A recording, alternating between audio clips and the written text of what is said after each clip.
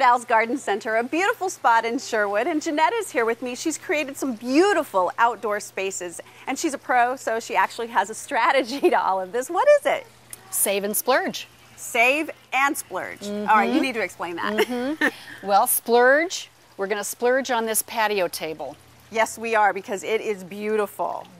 Inlaid stone, uh -huh. gorgeous, and we're going to save because there's things that we're going to just not spend as much on for one thing, this will last for a long, long, long time. time. Long time. You're not yes. having to replace your furniture very mm -hmm. often. No. Now you've also created this beautiful backdrop. Yes. How do you do that? Well, this is a save here.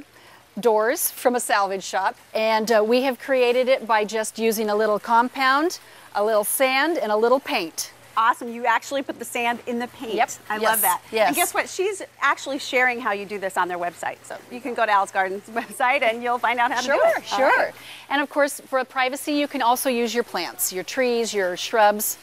Now, some of these may not do so well in the wintertime, so you just put them in a protected area. But Correct. for the summertime, right out here to create your outdoor sure. space. Put them in some pots, make sure they're watered. You're great. I love that. Now, I also hear a fountain. Sure. The fountain is going to be our splurge.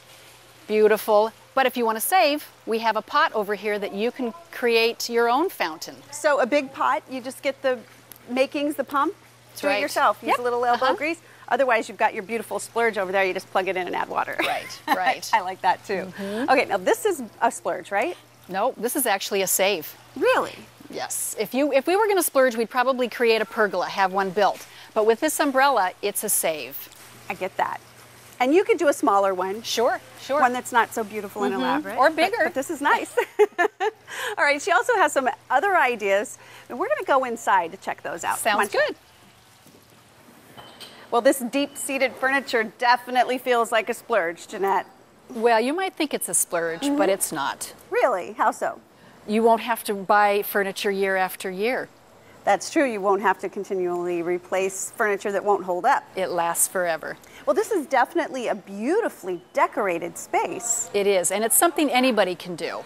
Really? I love the artwork. There, that's a splurge. Your, your wall art is a splurge. Your save is the iron wall art. Oh, I like that. Mm -hmm. And this mm-hmm. can be in the rain. That's it fine. It can be in the rain, but what's so nice about it is you can take it inside too. Yeah.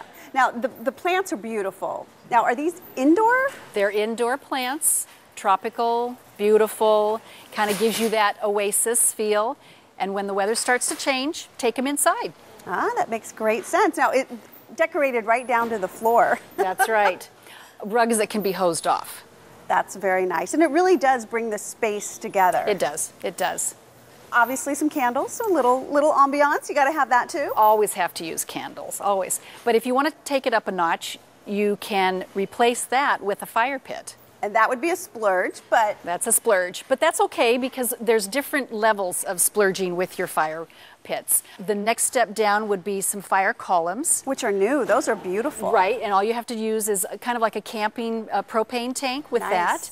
And then if you want to take it one step further, your to step your down yeah, to your yeah. savings, um, fire pots which are really cool. I really like those on a dining table mm -hmm, as mm-hmm, well as, mm -hmm. as like a coffee table. Right, right. You can use them inside as well. Very nice, very nice. And of course, the candles, the ultimate save. Mm-hmm.